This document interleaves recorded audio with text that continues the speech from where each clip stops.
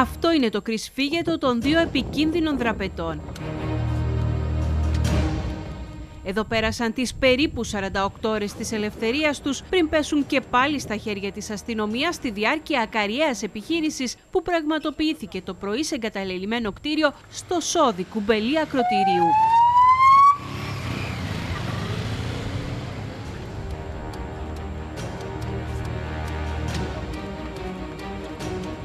Ο 35χρονο Πακιστανός καταδικασμένος σε τρεις ισόβια για δολοφονίες και ένας από τους Αλβανούς που έχει καταδικαστεί για υποθέσεις ναρκωτικών μπαινόβγαιναν στο σπίτι σαν επισκέπτες. Γείτονας μάλιστα τους ρώτησε ποιοι είναι και εκείνοι απάντησαν ότι τους έδωσε το κλειδί ο ιδιοκτήτης. Το μεσημέρι κάτω από δρακόντια πλέον μέτρα ασφαλείας οδηγήθηκαν στον εισαγγελέα και στη συνέχεια στο αυτόφορο όπου η εκδίκαση της υπόθεσης τους αναβλήθηκε για την Παρασκευή. Η δίκη χθες των υπολείπων τριών Αλβανών κακοποιών που συνελήφθησαν στο Ηράκλειο έφερε στο φως σοκαριστικές διαπιστώσεις για την ευκολία με την οποία πέντε βαρυπινίτε έγιναν καπνός μέσα από τα κρατητήρια. Οι τρεις κατηγορούμενοι δήλωσαν στο δικαστήριο πως άρχισαν να σκέφτονται πώς θα αποδράσουν από τη στιγμή που μπήκαν στο κελί. Εκμεταλλευτήκαμε την κατάσταση, σταθήκαμε τυχεροί και τα καταφέραμε με ευκολία.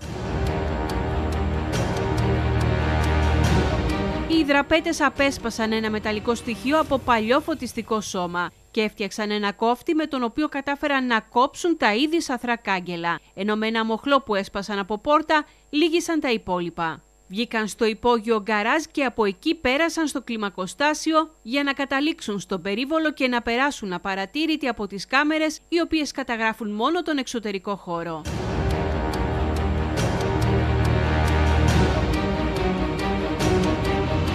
Βαρεθήκαμε αυτά τα είδους τα ανεπίτρεπτα πράγματα που γίνονται. Οι ομολογίες τους ήρθαν απλά να επιβεβαιώσουν όσα κατέθεσαν οι αστυνομικοί του τμήματος μεταγωγών, που ήταν μάρτυρες στο αυτόφορο, αλλά και ελεγχόμενοι στην ένορκη διοικητική εξέταση που έχει διατάξει το αρχηγείο της ελληνικής αστυνομίας.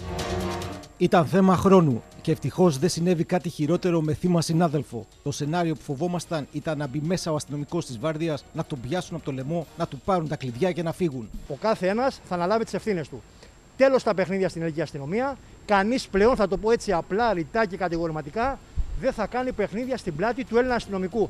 Άλλος αστυνομικός του τμήματος μεταγωγών κατέθεσε πως και στις αρχές Ιανουαρίου κρατούμενοι επιχείρησαν να αποδράσουν, αλλά έγιναν αντιληπτοί.